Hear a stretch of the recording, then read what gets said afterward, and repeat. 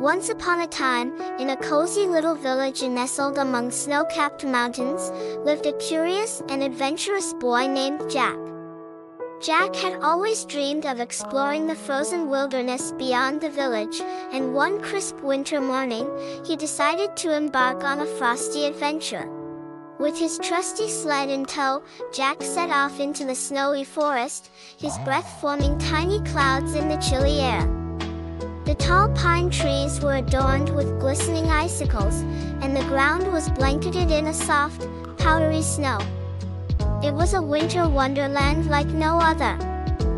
As he glided through the woods, Jack stumbled upon a peculiar trail of paw prints in the snow. They were unlike any he had seen before. Determined to solve the mystery, he followed the tracks deeper into the forest. The forest seemed to come alive with hidden wonders, a squirrel peeking out of its snow-covered den, a deer gracefully leaping through the woods, and even a friendly owl hooting a greeting from a tree branch. After a thrilling chase through the woods, Jack finally reached a clearing where he found the source of the mysterious prints. It was a playful, snow-white fox with sparkling blue eyes.